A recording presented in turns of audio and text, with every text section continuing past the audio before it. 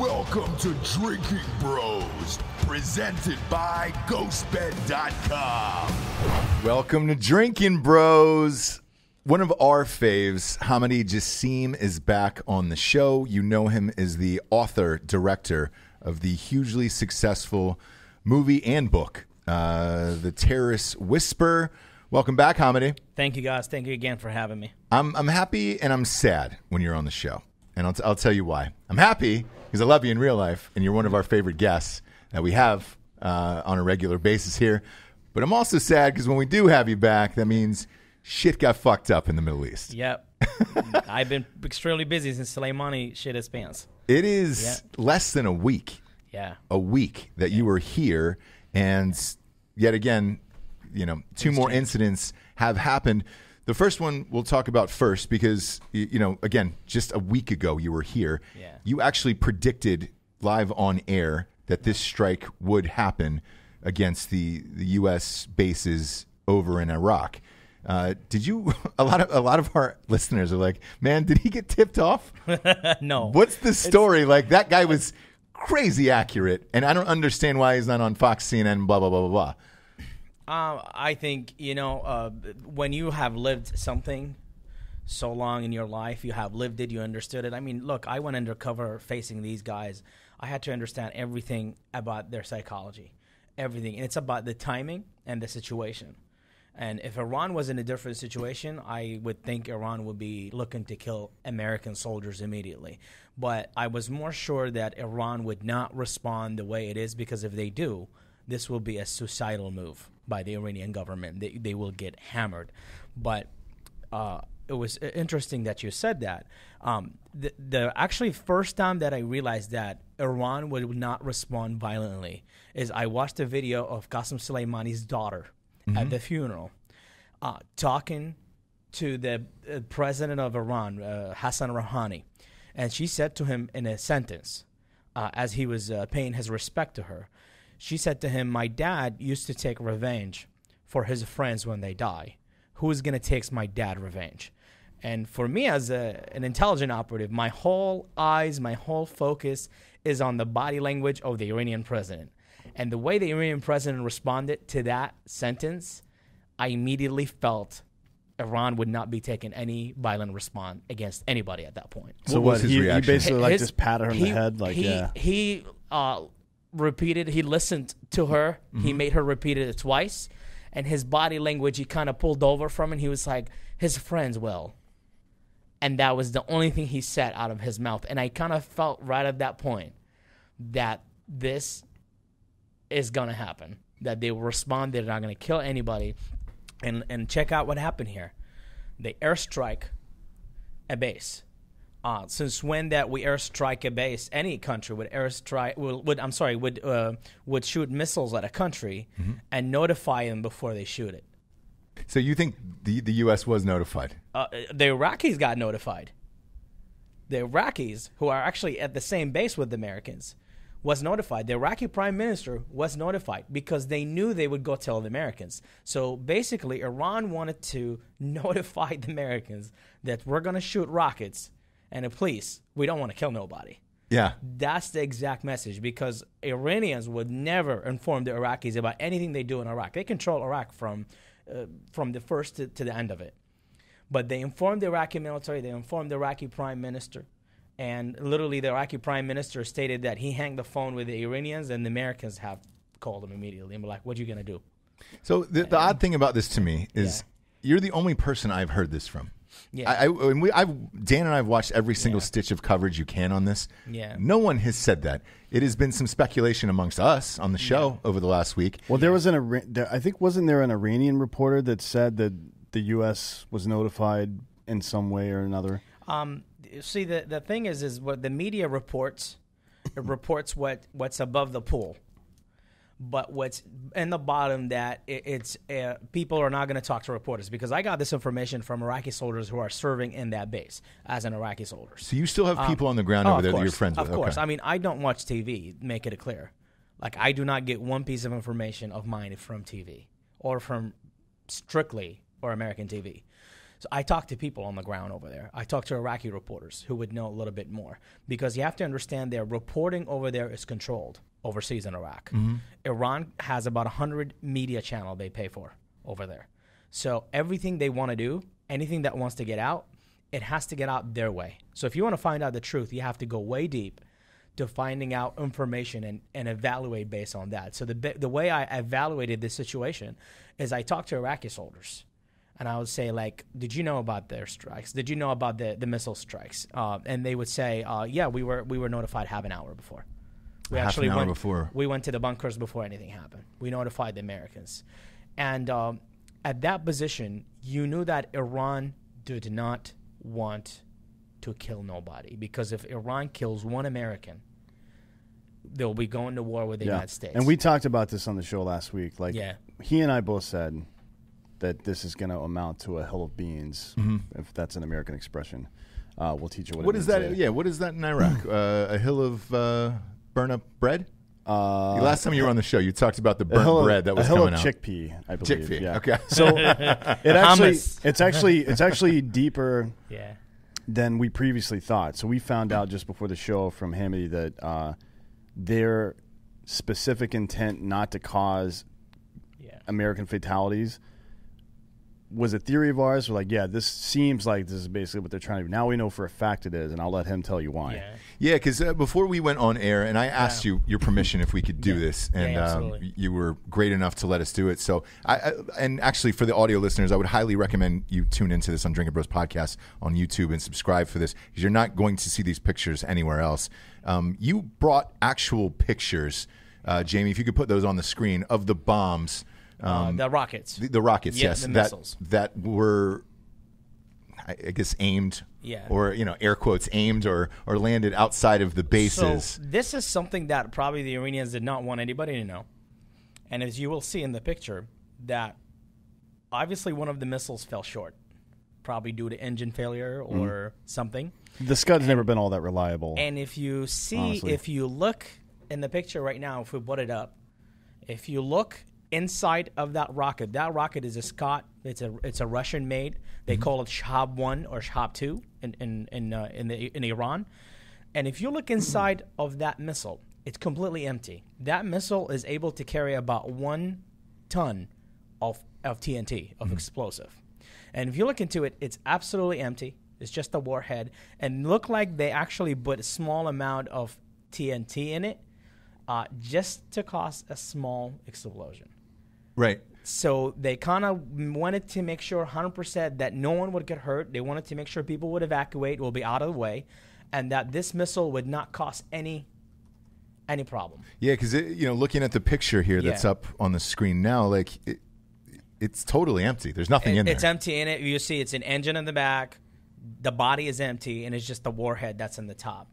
And this missile, it's a huge. If you look at the other pictures where it's actually sitting on a truck in Iran, this missile is powerful. It can hold a lot of stuff. Like it's It- been, it does. it's the. uh, If correct me if I'm wrong, but isn't it the same style missile that was used to send gas over the Kurds in the early '90s? Uh, yeah, absolutely. I I mean, not, no, no. I would say this missile is uh, entered Iran in 1997. They tested it in, Oh, this is the in two then. 97, and in 98 they tested it and they had a successful test with it. And um, this was given by you know by Russia to th- that's how they how they bought it. But um, th- the, mi- they have much more powerful missiles than this one. Uh, They have it in their arsenal, but they didn't use it. So Iran wanted to make sure 100% that they will do a respond to keep their honor and integrity and, and integrity in front of the Iranian Yeah. people. And and what did they do after the missiles land in the in the U.S. base, in the Iranian TV? They announced 283 American casualties. Is that what they did over there? That's what they announced. Yeah. I did not know that Yes. because over here Trump No. gets on and he goes, No. "All is well and good!" No. Exclamation mark on There was Twitter. a there was a rumor in the American press that one Iraqi general was killed. But that, was actually I got that information as well. There was a three Iraqi general, two other soldiers. Was, that killed. true? No, it was not true. Nobody got hurt. Yeah. I mean, I- if you go to your enemy and tell them that a missile is going to land 20 minutes from now, of course you're going to run and take a cover. So um, there was no casualties. They wanted to make sure nobody gets hurt, specifically Americans. Mm-hmm. Perhaps that th- you have to see the location is where they shot the missile.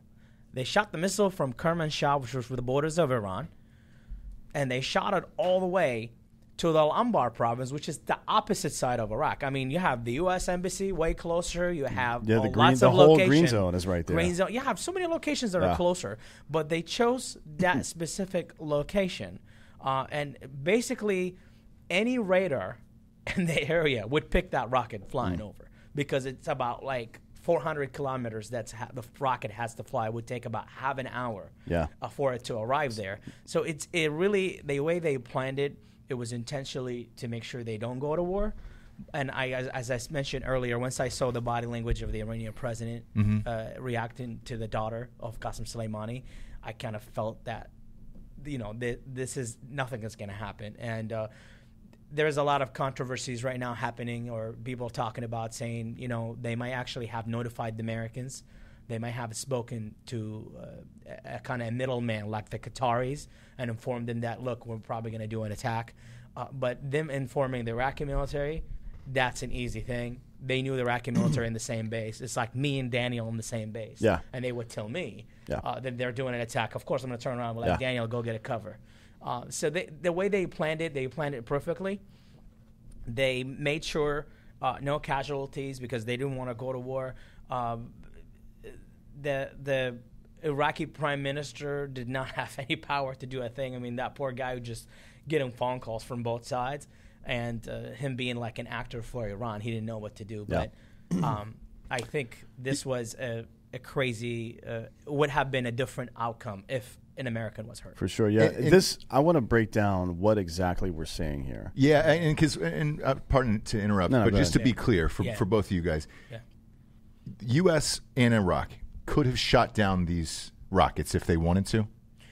I mean, the Iraqis' air defense uh, may have the capabilities to do that. Well, Um, so the U, do. the U.S. installations that are high, like sensitive uh, places, then yeah, absolutely. Because yes. if it takes a half hour to get here, yeah, you would know, right? yeah, Yeah, I mean it's it's a they didn't want to hurt anybody, as you can see in the picture. The rocket is empty. Uh, it really is just to look like a body, you know. Right. Uh, you know, you know, as some of my you know some of my intel friends were like, they're like it look like a water heater. You know, it's just it just look empty. There's nothing Yeah. in it, and uh, th- it, it was the smartest move by Iran because Iran was afraid of going to war, and they knew that any response, any life will be taken, that Trump was gonna uh, destroy 52 locations in Yeah. Iran, so, and they didn't want that because you have to understand, Qasem Soleimani is is the brain for Iran, and when Qasem Soleimani was killed, this is the thinker for Iran. Iran had a shock. It's the biggest shock in Iranian history right now so far. That Iran is still in shock to this moment, by the way, because when your best player dies and you don't have anybody that plays as good as he is, Yeah, you're looking at the Golden State Warriors right now. what do you got to yeah, do? Yeah. They're two best. Um, so yeah, just to let, I, I want to be real clear about what we're saying here, just because the the sequence of events and how people are talking about it is very important. So Iran was certainly involved in well let, let's just go back to the beginning. Iran has been involved in trying to interrupt the iraqi government forever right? Since we got there basically. And they've been trying that. And finally i don't know what the tipping point was and maybe you could speak more to that in a minute but um, whatever the tipping point was iraqis finally even shia iraqis were like fuck these guys like they're rioting at embassies and fucking burning down the houses of politicians in Iraq who are pro Iran, right?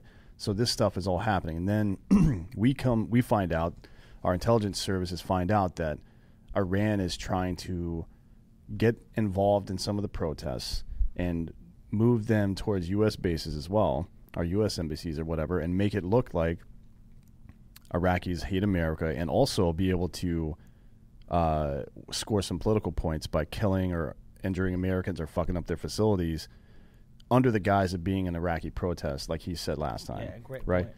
And we find that out, and we find out Soleimani's coming to town. He is the mastermind.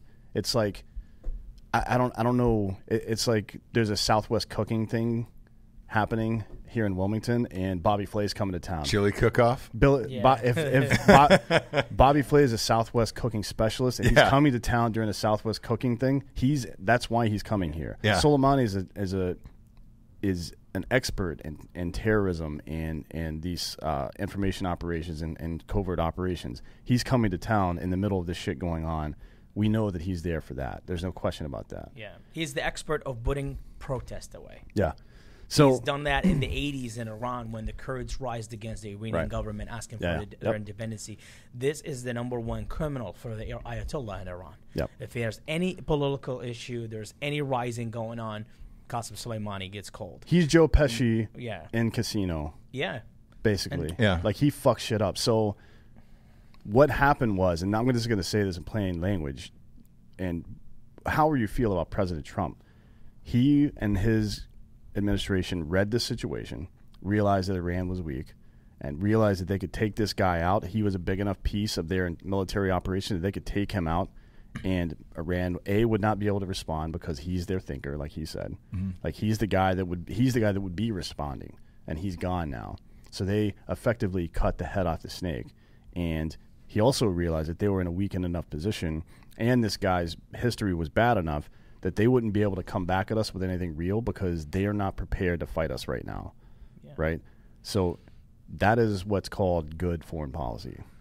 Um, it's all analyzing. Like, it's a I win. said. analyzing the situation. Yeah. Uh, you know, Qa- Qasem Soleimani. here's the thing. Iran was already losing its grip in Iraq.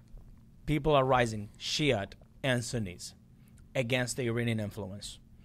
You have to understand, because for you as a civilian, you have to understand that there's Sunni and Shia in Iraq. Mm-hmm. Iran is a Shiite background. If a Sunni goes out to protest against the Iranian, this is normal. That happens all the time.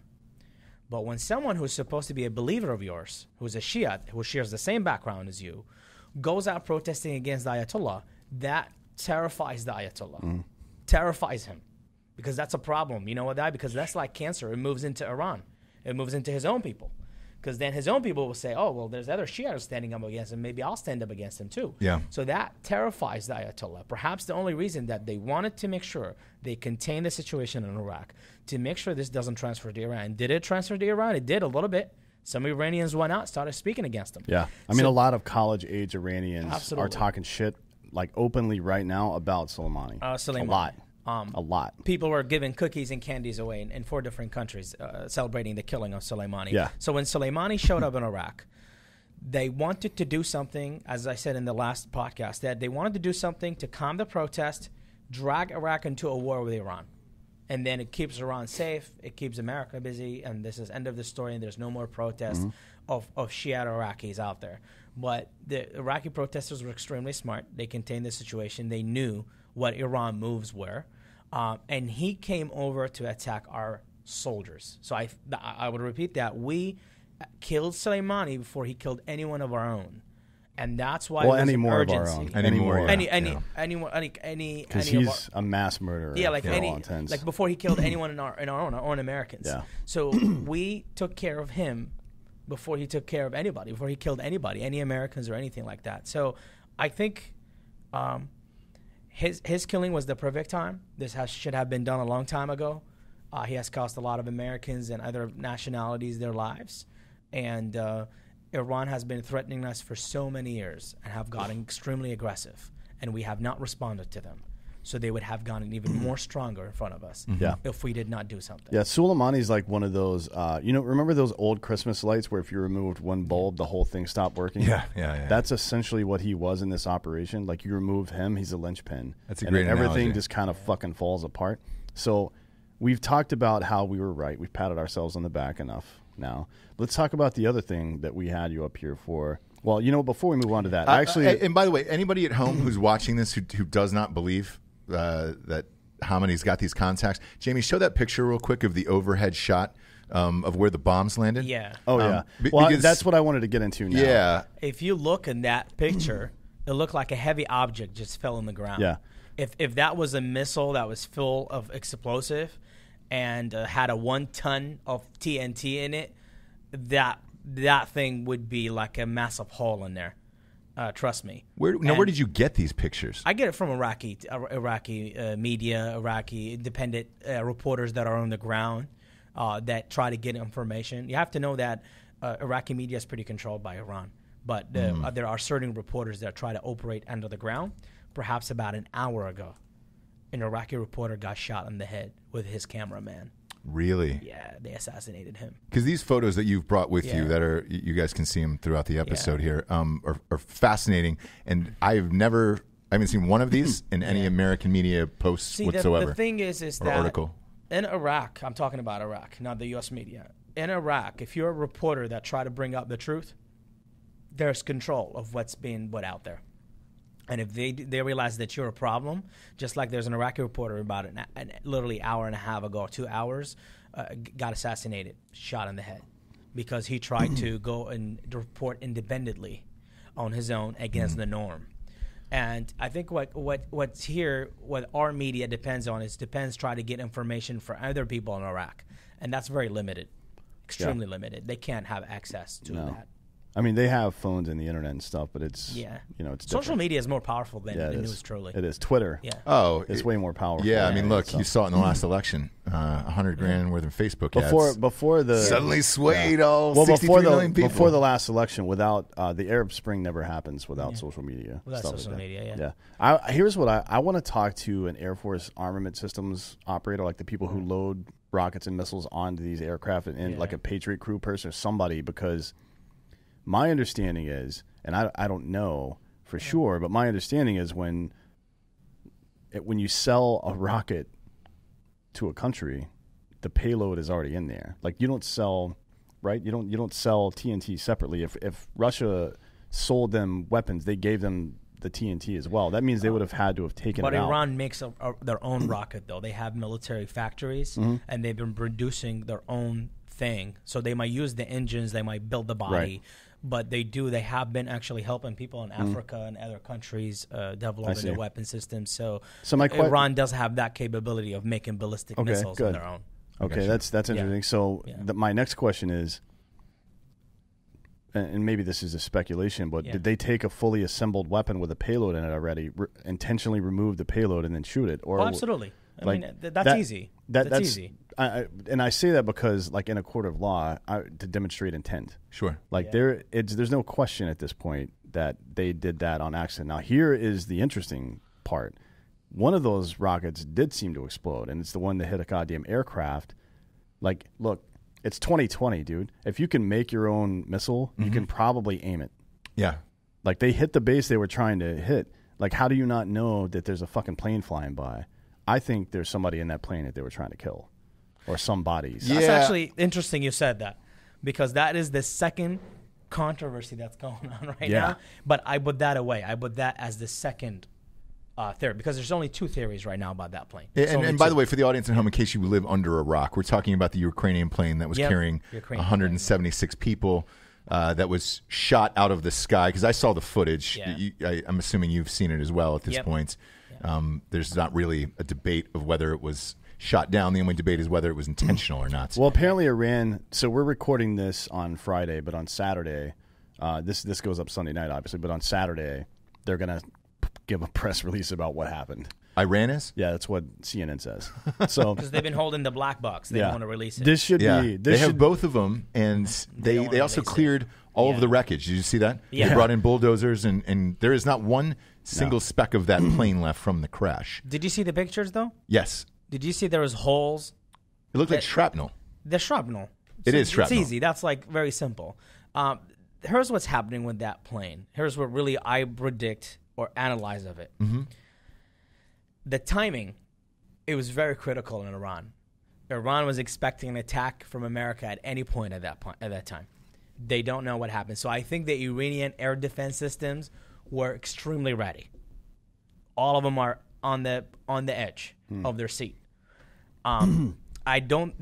I want to make it clear that the rocket that shot down the plane is not the same missile we're talking about that shot down the base. no, because you can see it make impact with the plane, and there's a Yeah. bright flash, but that is not the size of an explosion of a fucking Scud missile So the- with a full fucking two thousand pound payload. The. Rocket no way. that shot down the airplane that is a, a ground air Service to air missile, yeah. uh, rocket. So um, what it looked like happened. This is the, the two theories that are happening right now. But it would look like it happened. Their air air defense system was extremely ready. It looked like somebody noticed the plane at eight thousand feet, and someone made a mistake and shot down the plane. Really? And Iran does not know how the hell they're going to answer that. They do not know because they don't want to say we made a mistake. Mm. And because their country is at, at the edge of its seat, uh-huh. they just lost their best general. They can't go to the public and say we just messed up. And the internet is controlled by Iran. So Uh, uh no, there's not much. Yeah, you can, there's not much you can Yeah. actually infiltrate there. But I mean, what he's saying is Iran would have to come out and say effectively, our first military operation after Soleimani's death. We messed up. Whoops. was, The bottom line, what I I mean? think, as a country, is they don't want to say they fucked up. you've got to be kidding I me. can't wait to hear So, what they say. to be I was honest. talking today to an Iraqi reporter who's actually overseas, and and um, he said something to me that actually they made me laugh. He said, "You know that soldier that probably shot that rocket by a mistake.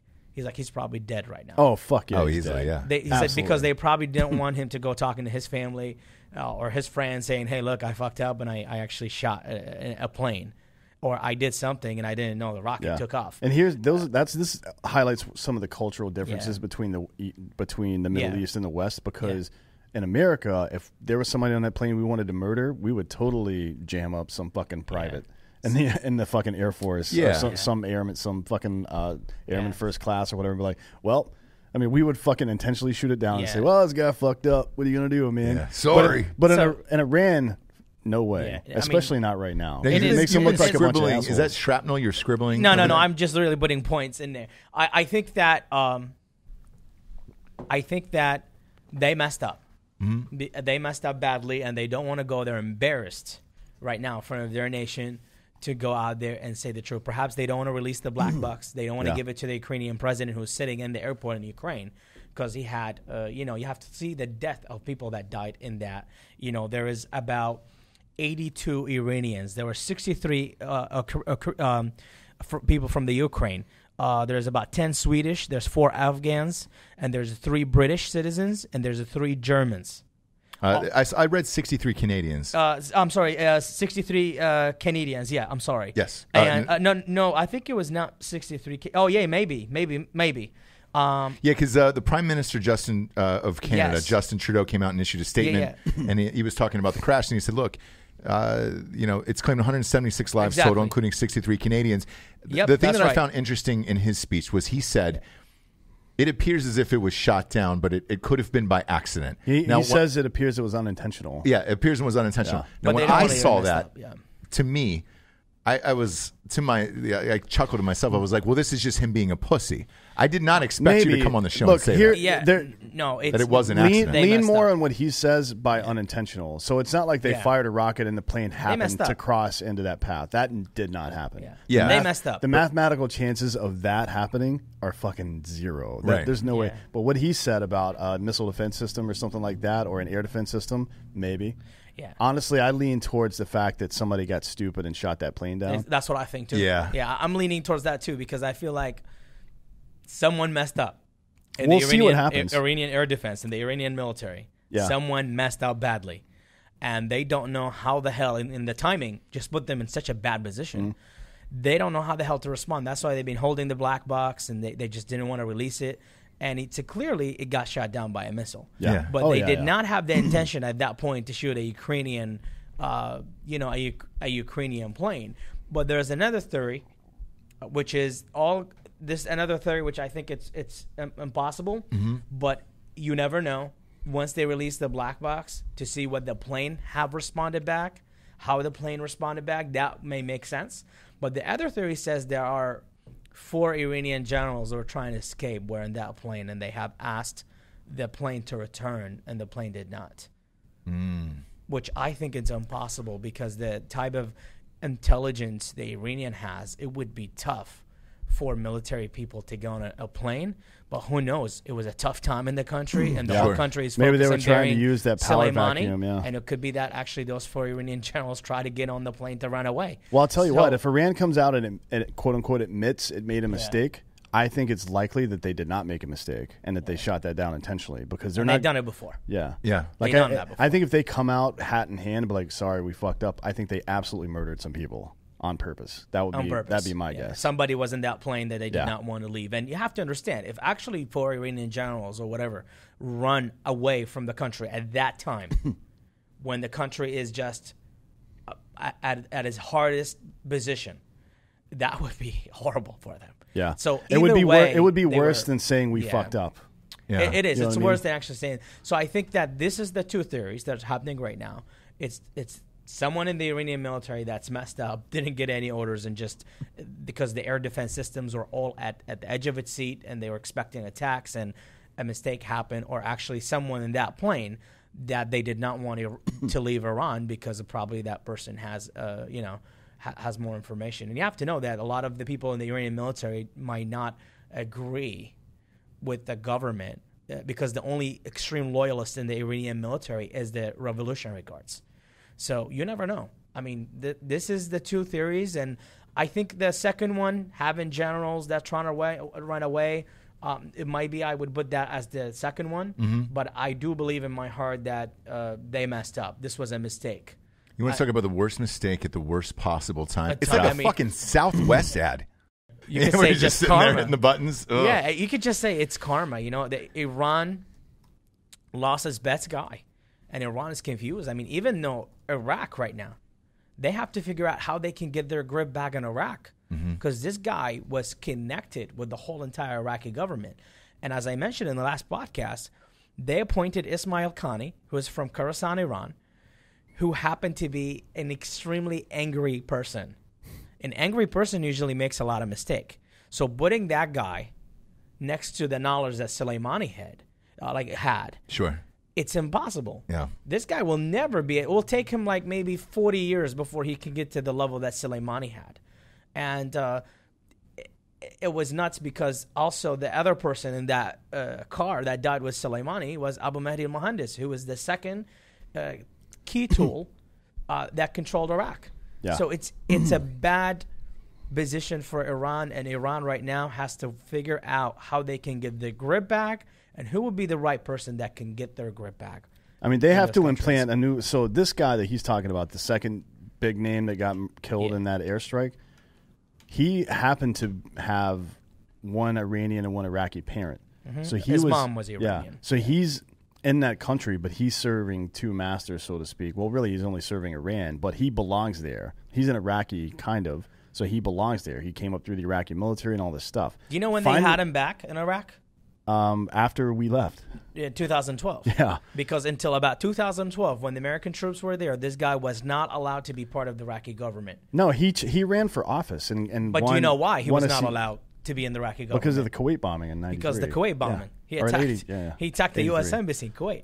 Yeah. He's wanted. in 1983. Yeah, so he's he's a terrorist. Yeah. So he he we found out that he had run for parliament and won, and we're like, no, get this guy the fuck out of here. He got banned from Iraq, and he I don't know where he went. Where did he go? Uh, Syria, I think. He no, he went to. Uh, Or did he he go went back to actually Iran? from Kuwait to Iran straight. Okay, yeah. But you have to know that Obama gave these guys a golden opportunity. Imagine when you're a terrorist and you get an opportunity to run for office. Yeah, That's an well, update. Muqtada Yeah. al-Sadr is a goddamn in the yeah, that's an update. Yeah, I mean, it like, is. I mean, you're a ter- wanted terrorist, and then all of a sudden they say, "Hey, man, you're now finally are allowed to run for an office because the U.S. troops just pulled out of Iraq." Yeah.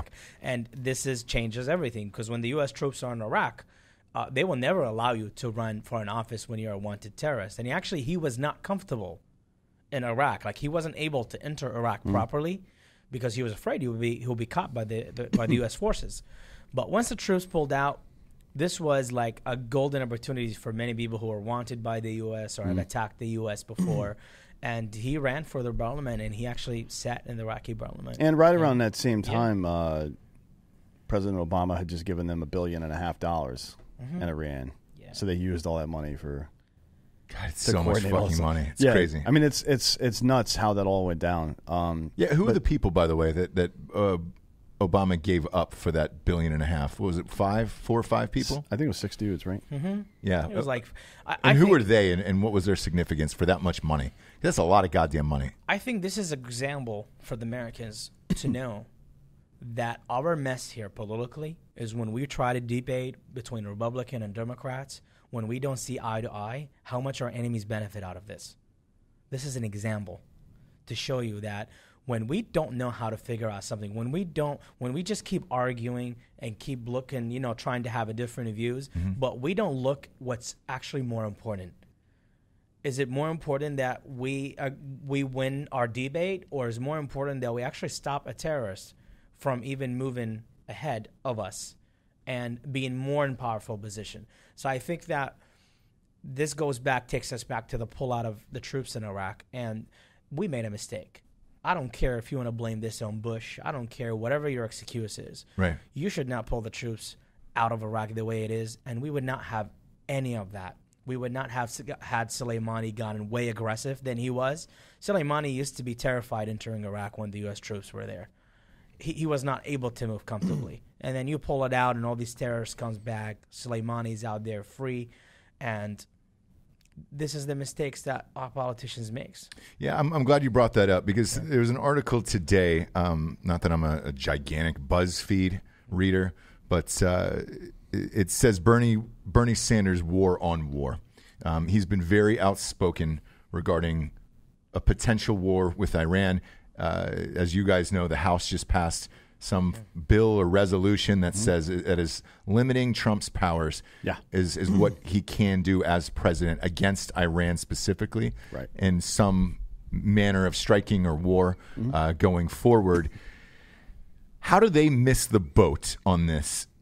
This bad that this was a fucking bad guy who needed to be taken out, and why why is this your hill to die on? The other the, on the flip side of that, Trump is is now starting to fixate on Bernie Sanders because it looks like he's surging ahead because of his stance. Yeah, I I would say this, man. Uh, as I said before, it's not about Republican or Democrats. Put this through your head. It's it's not about our politics. This is an enemy of the United States. This guy is behind uh, killing 600 Americans who are fighting in Iraq during the surge. How would you like to tell the families of those fallen soldiers that the person that was behind killing of their of their sons or daughter is a free? It's idiotic, actually, to go and say, "Well, the president made a mistake," when you don't look at the fact and the history of that person. You know, when, as you said before in the last show, when when when Bin Laden was killed, we all went out and be happy. I didn't care who the president was. Uh, Bin Laden was killed. Yeah. It's a bad guy. He has a history of killing uh, a lot of Americans and a lot of other people, other nationalities in the area. This was the second worst guy after Bin Laden and, and probably even the same scale of, as Bin Laden. He has killed a lot of American soldiers.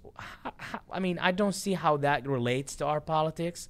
I mean, if you don't agree with the Trump, listen, don't agree with him. But when it comes, this is this is an American thing. This is not a Democratic or a Republican thing. This is not an accomplishment of any political party. This guy has cost America a lot of problems. He has killed a lot of Americans, and he was coming to Baghdad to kill even more Americans, and we stopped him. Whoever was the president, I would give him a high five. I don't care. Same. I, If- and I said this on the last show when, or- when Obama killed Bin Laden. I, I was right around the TV cheering with everybody else. You know, I, I w- didn't care who was president. I'd like to hear from Bernie Sanders and some of these other people. Like, under what conditions is war okay for you?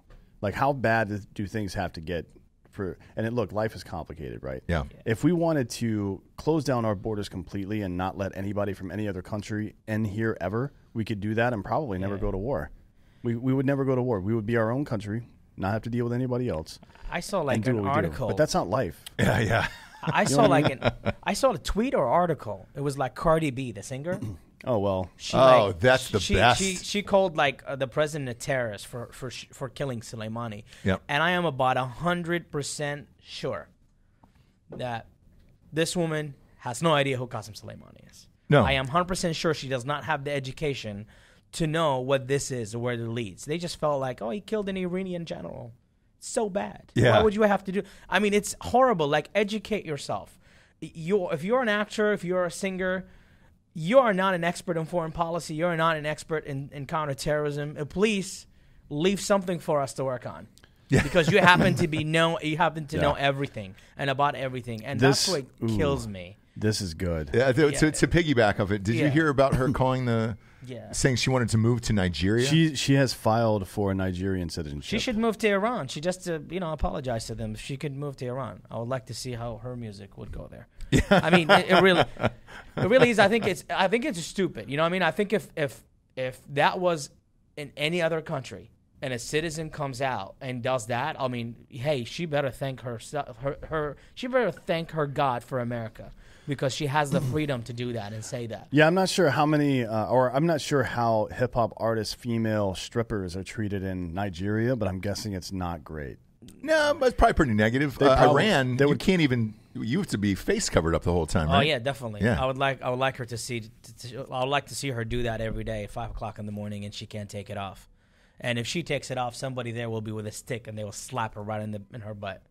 So I'm like, that's that's what you like to do. Yeah. But but I think that you know like, um, calling the president a terrorist, that's like for killing a terrorist that killed a lot of Americans. I mean, I, I mean, hey, be thankful that you live in America because if you'd done that in any other country, they would absolutely prosecute. They would stone her. Well, I remember death. if Yeah. you guys remember earlier in the week, uh, George Lopez. Yeah. Because the Yeah. pre- the president of Iran said he, he would Yeah. put a eighty million dollar bounty Yeah. on, on the head of Trump, and whoever killed him would get eighty million. Yeah. George Lopez run underneath it. We'll do it for half. Yeah. And the Secret Service came knocking at uh, old Jorge Lopez's door. Yeah. Yeah. Um, this week, and man, if you're gonna talk shit like that, It's hard not to make a like. Yeah. It's hard not to make a joke. thing about is, that. what do they know? yeah. What did they know about about terrorists who fought against America? Who George Lopez? Here's what here's what George Lopez knows. He needed uh, an organ transplant, and his he got it from his wife. Yes. and she got cancer, and then he divorced her when she was dying of cancer. Yes. that's what George Lopez. That is a true knows. story, by Yeah, the way. is, absolutely. Wow. So he used George to live next door to somebody I dated, himself. and I was like, what man, a scumbag! and this guy should know a lot about our national security. Yeah, there's a lot is, about look, getting an I mean- organ out of somebody, though, doesn't it? I mean, look, because you're a Hollywood actor or a singer or a rapper, whatever you are, it does not make you an expert in this field. And if you would like to, at least go to the thick in history and read of who these people are before making a tweet or making any kind of comment. Because it's it's really embarrassing. I think it's embarrassing. And we'd like to invite Cardi B on the show to sit down with Hamidi and just have a really thoughtful discussion on on foreign policy in the Middle East. Yeah. I would die to hear Cardi B. Uh, Or just put a blank map, map up and Yeah, say, "Hey, that would just write in the names of these five Yeah. countries over there, and let us just let us know which f- five. You can pick Yeah. four or five countries. Just write the name in a crayon. I Yeah. mean, it's it's a it, really embarrassing. I think is that these individuals, all of them, period, need to shut up and leave things alone. I mean, politics are politics, and you being doing what you're doing is is one thing. And uh, you know, I think I, I I would stand with America against its enemy, regardless of what political views you have Same, yeah. that's that's the way it goes. And uh, you know, all of what's happening right now, it doesn't matter what your political view. If we go to war with that nation, you're going to war. You know, they're not going to care what you think. They would want to kill you. And, and you know, for all those that wants, you know, that want to sympathize with Iran or they want to feel bad for the Iranian people, you know, if we use that kind of language with Iran, which was used in the last few years when Obama was in office, look what Iran does. Iran tried getting more aggressive with us. Uh, Iran felt they can kill Americans and nothing would happen because they felt we were weak. This is not American politics. When you talk to your enemies in the outside world, it's not the way we live here in America. It's a different thing outside of the box. Uh, those enemies are extremely aggressive and they want to dominate. And we cannot let them dominate us as a country. We are this what makes us great is because we are a melting pot. We are people from all kind of backgrounds. We dominate and we dominate for the interest of the American people. Not just we dominate, we like to be dominating the Middle East. We dominate there because we don't want Iran to be to be the main boss in the Middle East. And they shouldn't be. So I think that many Americans need to educate themselves about about the political uh, process and about the Middle East in general, especially because we're there uh, all the time. Our troops are there, um, and I hope I hope even the liberals, you know, I hope that they can educate themselves before making such a tweets because, believe it or not, Iran Iran would benefit a lot out of that. The, Yeah. co- the people in the country, yeah, absolutely. Yeah. Yeah, I, here I've I've been reading a lot of people, uh, liberals, and I, I guess it's kind of tongue in cheek, saying that, well, what about Saudi Arabia? Like, why are we still friends with them? I agree. So let's put them on the list next. Yeah. Like, look, eighty percent of the fucking primary schools over there, from elementary, middle, and high school, are madrasas that teach death to America. They teach Wahhabi Islam. Eighty percent of the schools there. So that means that eighty percent of the people are indoctrinated to believe that shit. But that have changed in the recent, uh, though. It, like with, with The last, Mohammed, like, with 10 Mohammed years, bin yeah. Salman being, being the crown prince, I would have to say things have changed. Things are not the same in Saudi Arabia. I mean, look how many American actors and American singers were just performing in Saudi Arabia recently. That Money. never happened before. Never. Yeah. Saudi Ara- the, Never. the Saudi royal family above Yeah. all cares about money. Yeah. There's a couple of members uh, that are older, some of the uncles that are extremists, Yeah. but you know, look, still, Saudi Arabia produced 16 of the 19 9/11 hijackers. Yeah. Um, they need their dicks slapped a little bit. So I feel like let's. Uh, well, we it's it's interesting. We have uh, an arrangement with Saudi Arabia where they're they, they're constitutionally not allowed to spy on their own people, so we do it for them. Uh, this is a, a rumor, but it's obviously true because there's no way Saudi Arabia is not spying on its own people. So the rumor is that we spy on their people in exchange for them spying on every Middle Eastern country for us. Yeah. Absolutely. That's why we don't invade Saudi Arabia. By the way, But also, you know, Mohammed bin Salman, you know, we call him MBS. Since MBS, since Mohammed bin Salman, the crown prince, have been appointed, uh, he doesn't like extremists. One thing. I mean, look, my guy may be a bad guy, but he doesn't like extremists. So what he has done, he actually he has limited the extremists in Saudi Arabia, the ones that have been educating against America, that's been doing all kind of terrible things, and anybody that does not keep it a little notch down, he would put him in prison. So there's a lot of these Wahhabi extremist kind of Islamic figures who used to educate people to hate the rest of the world are now in prison because he just changed things in Saudi Arabia. He actually modernized Saudi Arabia. He just said, "Look, if you want to practice your religion, go practice your religion, but we're going to have someone singing right here, and you're not going to do anything to do that." Back in the day, they would have a bunch of people who look like um, who basically look like a terrorist. They will come in with a stick and they will beat the hell out of the person. They used to carry like bats, and if a woman who was covered up and had a little piece of hair coming out of her hijab, they would beat them. But that changed. That's not allowed in Saudi Arabia anymore. So it's a new Saudi Arabia right now, and it's because Mohammed bin Salman actually has been uh, modernized, uh, and he has a vision for Saudi Arabia 230 he's been working on, and he's honestly halfway there. So he changed things. A lot of actors are there. A lot of Americans are um, performing over there. Uh, so I think that has changed, and Saudi Arabia is a is a great ally for us because we do a lot of business with them. Mm-hmm. well, know? they could be a great ally. Yeah. yeah, I mean, Could be, and then a, and then a Khashoggi sitch will will pop up, and uh, you know, I mean, look, uh, I think, as I said, it, this is about our American interest. You know, our American interest is to do business with them. That's who they are. Um, you know, what they do in their own country, what whatever they do, I know it's an, unethical. Um, but look, how many bad guys we deal with in the everyday. You know, Oh, like yeah, how yeah, many yeah. presidents we deal with. Like, you know, are we respectful to Putin? We are. We respect Putin, but does is Putin not? Putin kill a lot of people too. yeah, So the thing is that in these countries, uh, I you believe got to weigh the the, the Yeah. risk versus reward yeah, there. Yeah, indeed, indeed. So I think I think that um, I think that uh, Iran. I mean, I'm sorry. I think that Saudi Arabia. Uh, it's it's a it's a modern country now, and uh, that's where we are right now with them. And if we do business with them, we do business with them. Yeah. uh, and we don't have any anything. You know, they work with us. sure. I'm, re- Uh, I'm reading this article right now. yeah, I just happened to see it. Uh, so apparently, Iran in uh, the year 2000 bought a fleet of dolphins from Russia that are trained to wear bombs and do kamikaze style suicide attacks on vessels. is that is that a real thing? What's that? Can you say that again? Sorry. The dolphins? So Iran apparently has a fleet or whatever the fuck they're calling them of dolphins mm-hmm. that are trained to wear bombs and swim into vessels and detonate. Wow, that they bought does? from Russia. Yeah, Yeah, can They you bought- confirm any of that? They bought them from Russia in the year I mean, 2000. yeah, look, I, I think there's a lot of rumors, but I know Iran would like to always show like how bad how badass their skill is. Uh-huh. I know they like to fake that.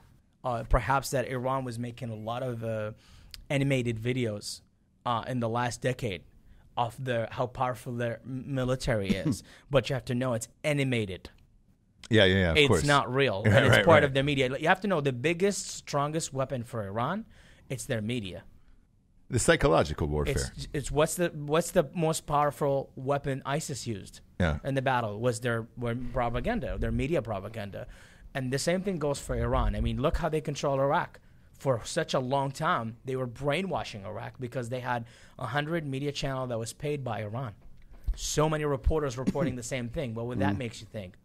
Makes you believe everything you see. It's just like how the, if the American media all reported the same thing every single day, you know, you Yeah. would believe in that. I think we need to get some badgers or something or kangaroos with AIDS. Big messed fan of that. Release them in Iran. Yeah. It's like, hey, I did not hear that. No. Uh, a nice, uh, yeah, like uh, foxes with, Yeah. with polio. it's, polio, it's yeah. it really is, and that's why I was like, hey, you know, Iran markets itself really good, uh, but you know, when it comes to that's what I believe in my heart. You know, that's what I believe facing them. They're a bunch of idiots. Even when I operated against those operatives back in 2005, some of the Iranian operatives, you know, I found them to be extremely stupid. That's how I found. them. That's how I looked at them. When I was looking at them, collecting information on them, I thought they were extremely stupid. But to the world, to the rest of Iraqis, they were lethal. They were Yeah. afraid of them. They didn't want to do anything with them because they're afraid to make any move against them because they felt like, oh, they're, they're lethal. They're extremely smart.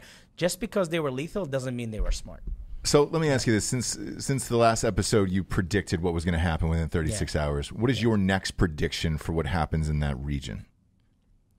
I think, in my opinion, uh, we will not be going to war. I believe that the next thing will be negotiations with Iran.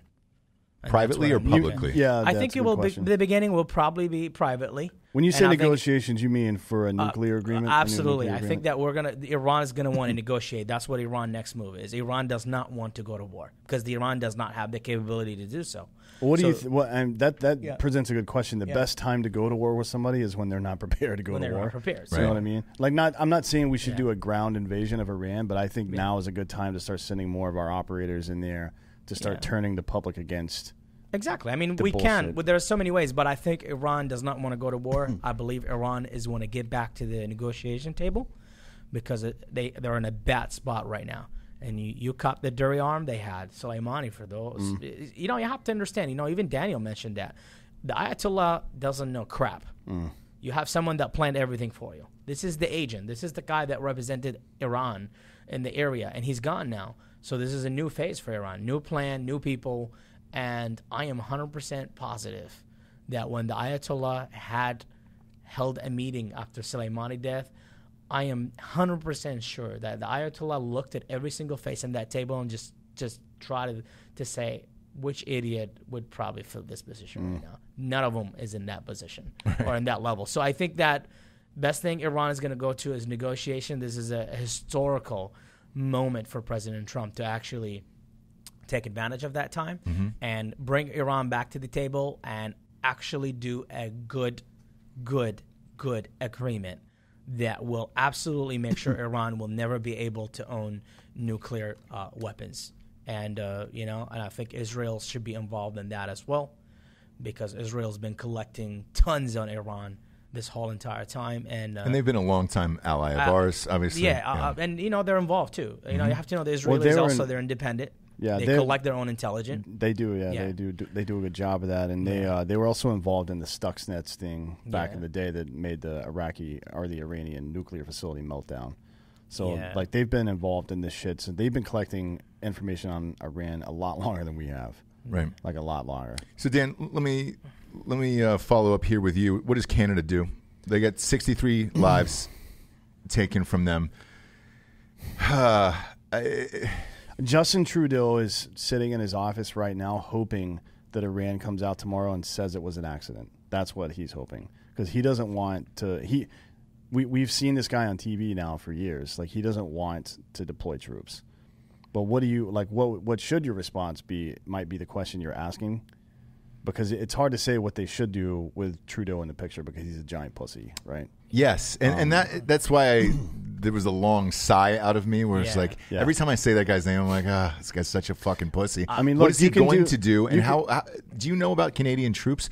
Do they have a big military? No. They don't have a Capable big of mili- doing anything? They have a No, capable military, but not a large one. They have like they have some of the best snipers in the world. Their air force is very good, so they could Uh, they could light the fucking they could light the whole country on fire for sure. The But- only option Canada has is, is they're gonna cry. That's it. Yeah. They Yeah. don't have that leverage on Iran. But I would say this to Iran actually. Iran, you're lucky there was not even an American dog in that airplane.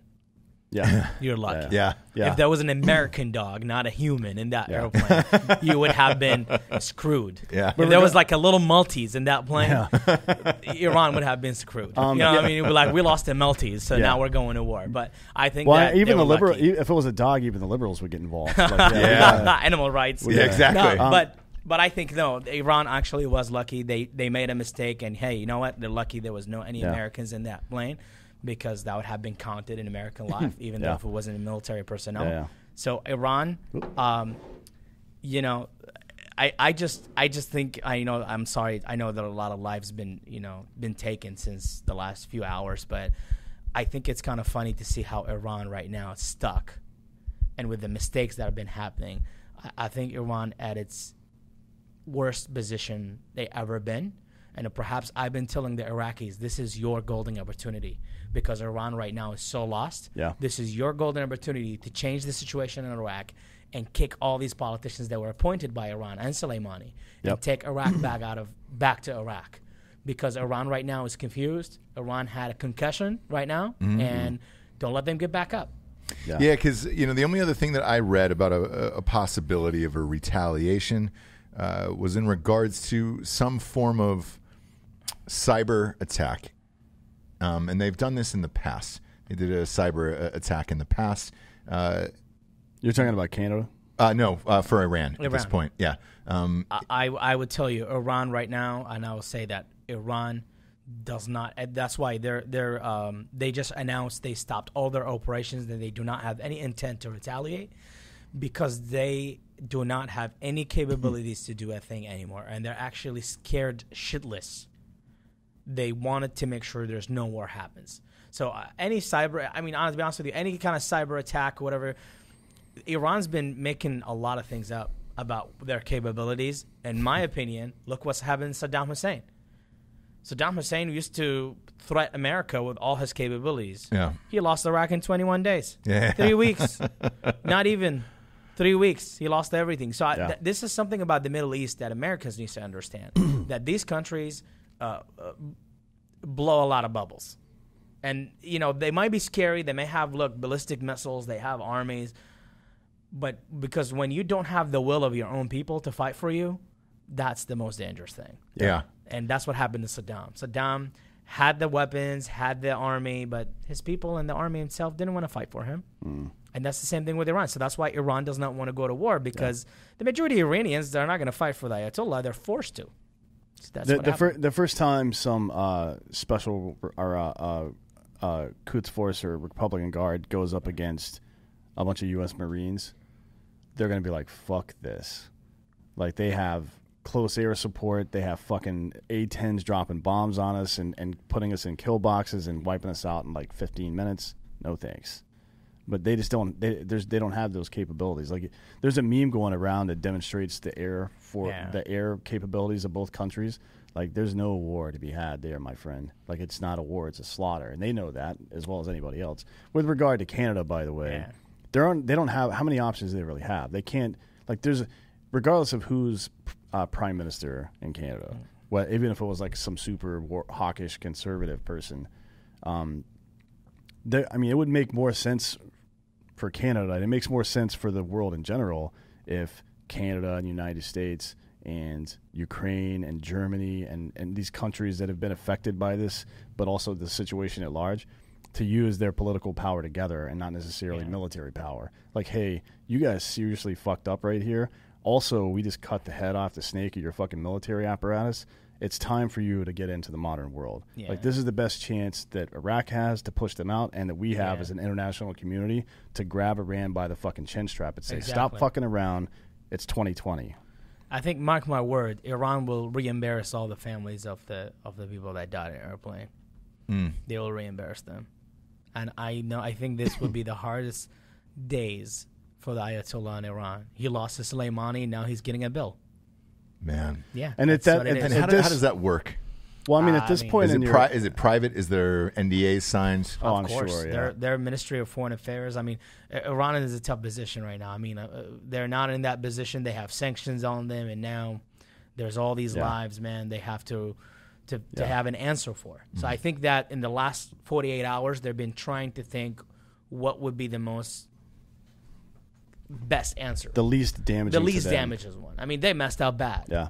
And that's why, you know, I was saying if someone actually made that mistake and shot that rocket by mistake, Yeah. that person is dead. Oh, for sure. And you got to think at this point in uh, the Ayatollah's life, you start to think about your legacy. You know what I mean? Oh, yeah. Like, regardless of what culture you're in, you're like, I'm probably going to die soon. Am I? Am I going to let Iran get wiped out by America on my watch? Or like, what are what are my options here? Because if we go scorched earth, that's going to happen. Or Right. we can punt and play the thousand year war like uh, a lot of Muslim countries have in the past. Or do we slip back into modernity? Because if you remember, in the 1950s and 60s, Iran did not look like this. There weren't people running around in burqas and shit like that. Right. Yeah. I mean, they it used to have nude beaches. Yeah, it was Really? Yeah, Yeah. that's what Iran used to It be. They was used very to have nude beaches. until the 1970s. Really, Now you're piquing my interest. Yeah. Yeah. So it's Wanna like? I mean, imagine you took people off the beach who used to be nude. Yeah. And now you put a cover on their head and said you can't take it off. Oof, now I'm angry. Imagine what. Now what- I'm angry. Imagine how angry. Do you think those people would be motivated to fight for the Ayatollah? No. It's only it's only the Revolutionary Guards that have been loyal. These are the people that fought with. These are the Islamists, the extremist Yeah. ones. Uh, the nation of Iran, man, they're a big party animals. Yeah, they The are. nation of Iran, Yeah, big you know, we party did- animals, and perhaps even though it's not allowed in Iran right now, Yeah. they still party under the ground in basements. Mm. no shit. Yeah, that's it's. He doesn't have control over his country. No. he may tell them what to do because they're scared. So it's the same thing with Saddam Hussein, man. But but he can't control them. So, No, so they're- when that article comes out in their country that we killed 183 Americans in that strike, was that the number you said? Uh, no, two, 283 they reported. Yeah. it's- So uh, Yeah. when, when they report and they that said, over there, they said do- the do bodies went to Israel. That's what they said, and we're like, how fast did we transfer the bodies to Israel? We actually have hospitals in Iraq. Just letting you know, Yeah. we, don't, we don't need to go. But that's that's just, just to But show you the the people- immaturity of the Iranian government and the immaturity. That's why when I say to you that they're they're idiots. They're, Yeah. they, they just don't even know like what they're doing right They're, now. they're ignorant. They have no Yeah. access to any kind of information. But do the people believe it? Is the question? well, they believe it because that's all they know. I'm, I'm sure they're suspicious. their ally, their, their supporters will. yeah, because But- they want to. I actually had a conversation with with the because I have a lot of people in my Instagram Uh-huh. who threats me all the time from Iran, from uh, Canada. Actually, Yeah. Uh, I received threats. I don't know if you guys see. we uh, we got uh, we got a bunch of uh, weird yeah. messages from from people who hated you, and I Yeah, was yeah. like, man, Yeah. how many was not fucking around? yeah, like, yeah, yeah, yeah, yeah. I have a plenty of them, and actually have I have a a cell that that bothers me a lot. Like in my Instagram, when I go live, and a lot of my Instagram followers know that when I go live, they come on and they try to like stop me from talking.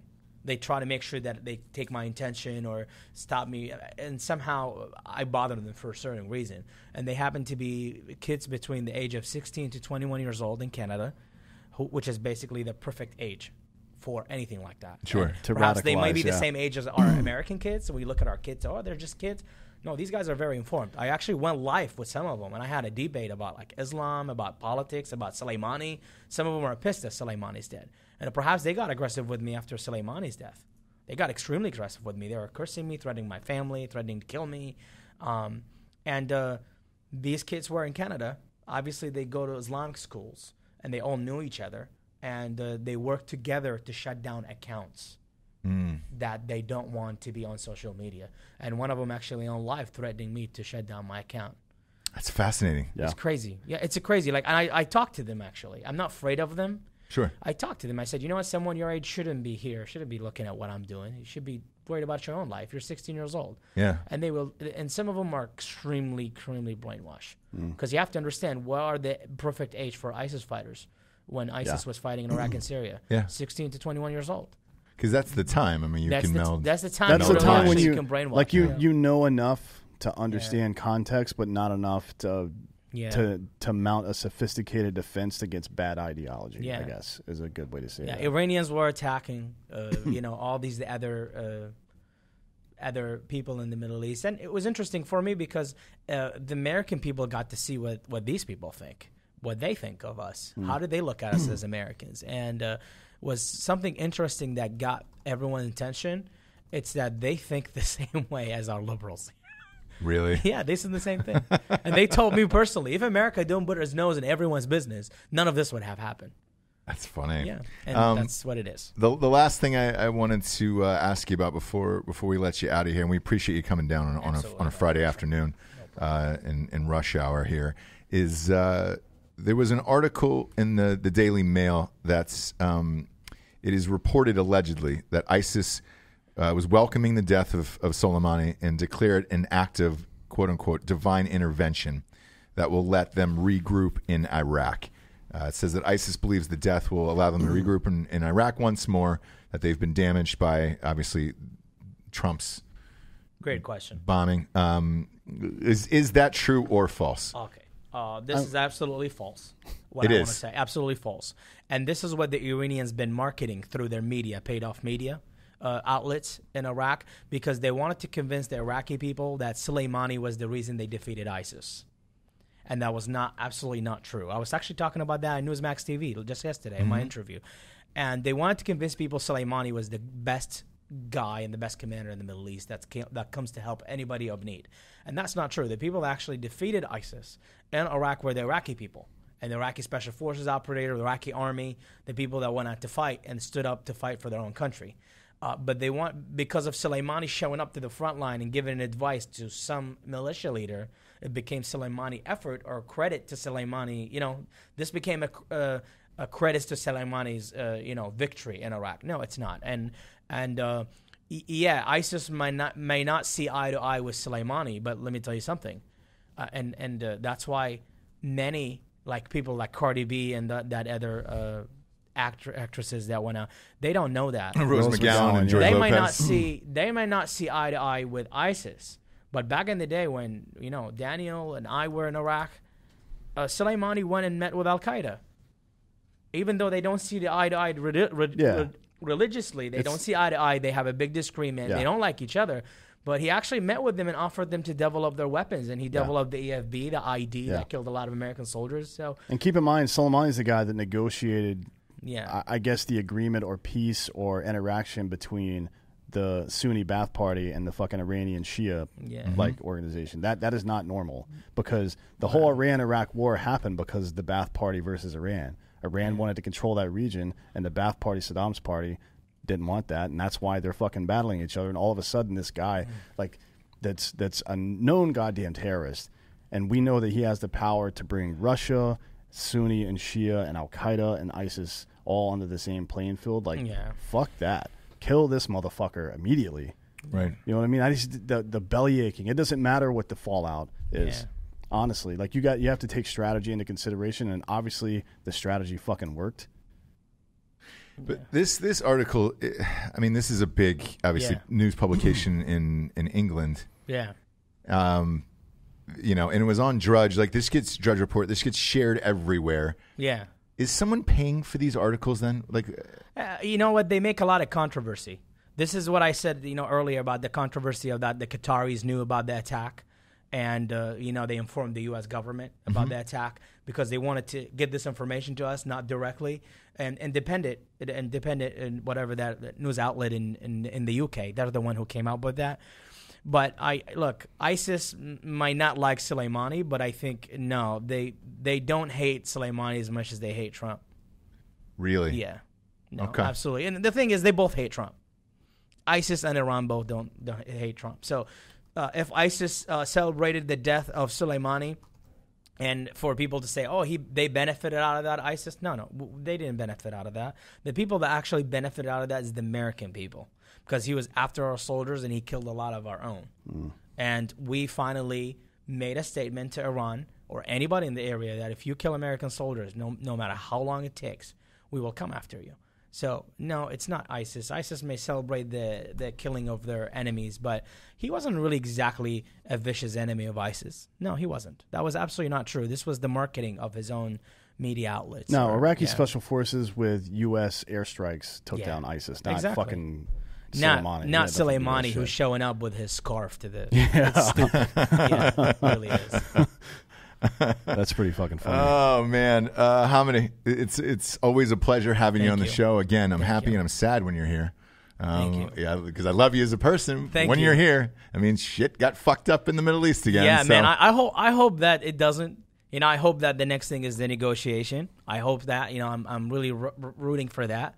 And hey, if if it's a nego- negotiation, I'll come back here. We'll talk about the negotiation. But I, I'd love to. Yeah. I'd love to. Um, Yeah. And I'm glad that uh, you know Fox News or CNN hasn't stolen you away here because it's okay. to me you're you're Yeah, you, you mentioned we are going to talk about one of the most insightful people on Yeah, this subject, yeah, and like yeah. I, we did get a, a million messages of like, Yeah. I don't understand why this guy isn't the face of every single news network to share with America what is really going on. And I, I would imagine for two reasons, right? One, they don't they don't want people to know what's really going on because they're pushing their own narrative, right? Yeah. One way or the other. CNN is saying this is awful. Trump Yeah. has violated everything, and Yeah. you need to clear this with Congress.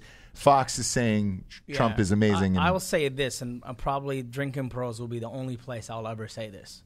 And I have never said this before. I talk about this topic ever uh, in my in my life, even since I released my book. But the media has, especially I'm talking about the American media, has a certain agenda, and they like to put words in your mouth. I mean, I've been to a few uh, media outlets myself. I have spoken to a few TV stations.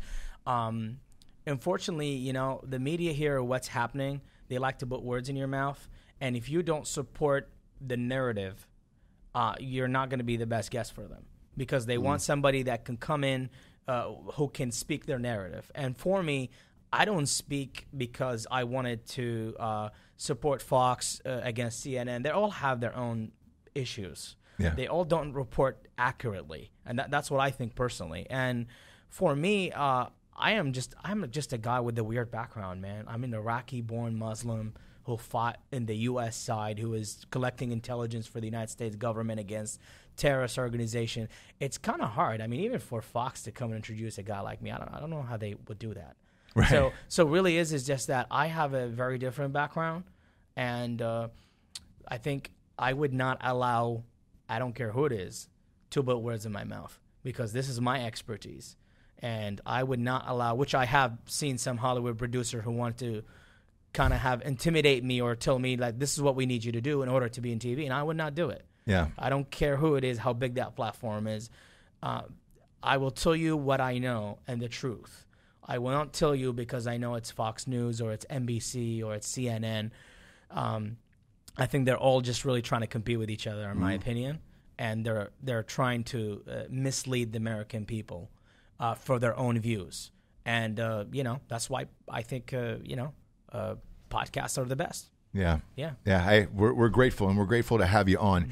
Please, please, if you have not, go buy uh, How Many Just Seems book, The Terrorist Whisperer, uh, or rent or buy the movie, uh, The Terrorist Whisperer. Um, he also directed the film as well, and uh, that is available on Amazon, iTunes, Absolutely. uh, anywhere you can you can buy films. Again, pleasure to have you here. Uh, Thank you. thank you for taking time out of your day. We gratefully uh, uh, we My gratefully pleasure. appreciate it. Um, for D'Anthony D'Anthony Holloway, uh, how many? How many do you seem? Thank you. Uh, Thank you. I'm, I'm Ross Patterson. We're the Drinkin' Bros. Good night, everyone.